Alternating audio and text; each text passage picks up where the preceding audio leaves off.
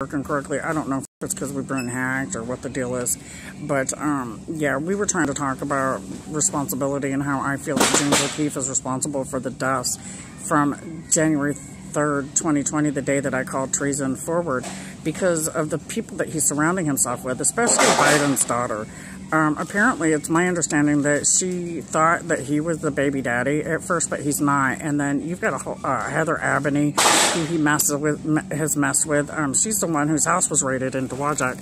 And so I have to be concerned about all of these different situations with regards to these people and getting it out and the public and being told the truth about it. And I've got all this hacking and all this nonsense going on, people getting my phone and all of that stuff.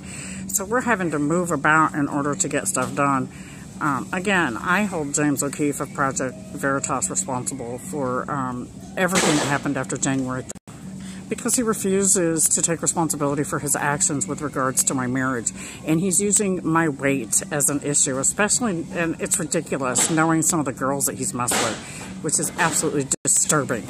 Um, so I felt that I had to come forward and say something, especially because I've had all these people who were killed in my and for for the there's three my mom my grandma and my aunt we know for a fact were murdered and then there's at least one person from Pennsylvania